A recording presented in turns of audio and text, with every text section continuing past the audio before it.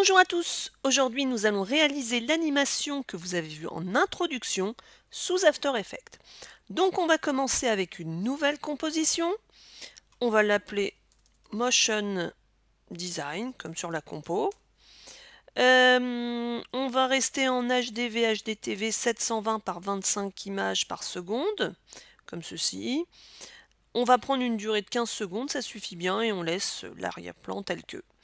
Et on valide. Maintenant, on va créer l'arrière-plan. Alors l'arrière-plan, on va dans le panneau de montage, un clic droit, créer, et on va créer un solide.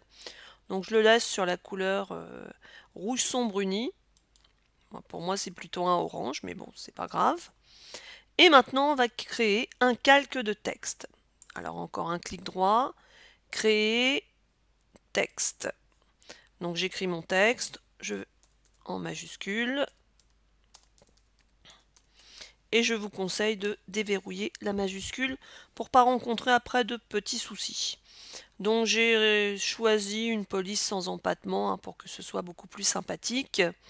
Je peux, si je le souhaite, euh, centrer mon texte, donc avec la fenêtre alignée. Si vous ne l'avez pas, je rappelle, c'est ici dans les fenêtres, il n'y a qu'à cocher pour l'avoir sur le côté.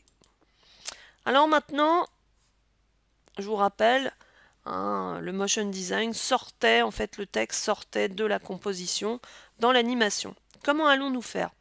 Très simple, on va créer un masque sur notre calque de texte, sur notre texte. Alors, on sélectionne notre texte motion design, on se place donc sur ce texte et on fait un clic droit. On va avoir donc masque, on définit un nouveau masque, comme ceci. On va dérouler un petit peu ce système. Juste à côté d'animer, on va rajouter une animation qui va être une animation sur la position. On va, comme d'habitude, créer des images clés. Donc, on va en créer une sur, ici, position. Je me déplace jusqu'à 2 secondes et demie à peu près. Si on voulait faire mieux, on peut. Hein. Et puis, ben, je vais donc gérer ma position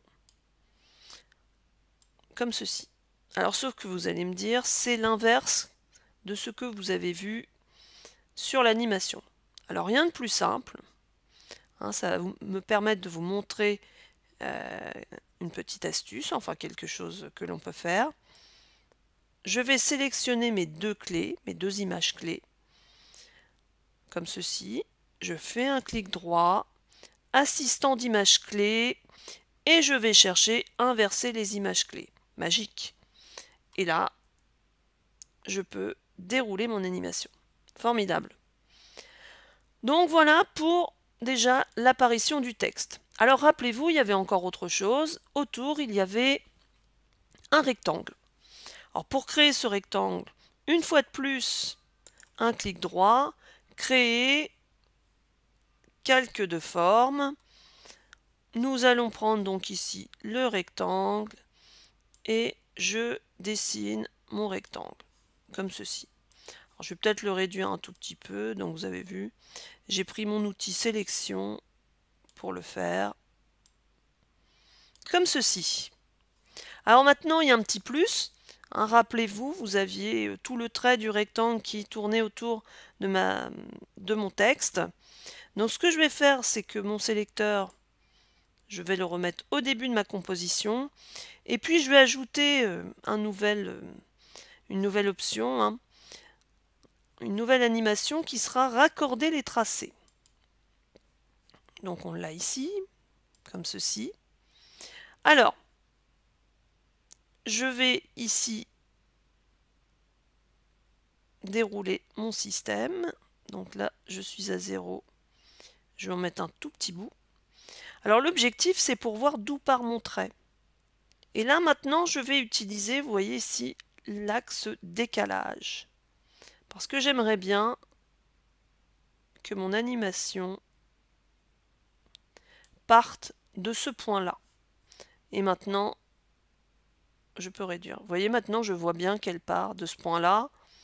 Donc, j'ai mis mon décalage à 70 degrés. Alors maintenant, bah, rien de plus simple, donc je repasse ça à 0. Je vais donc créer une image clé. Donc je clique sur le petit chrono et je vais jusqu'à la fin de mon animation. Et là,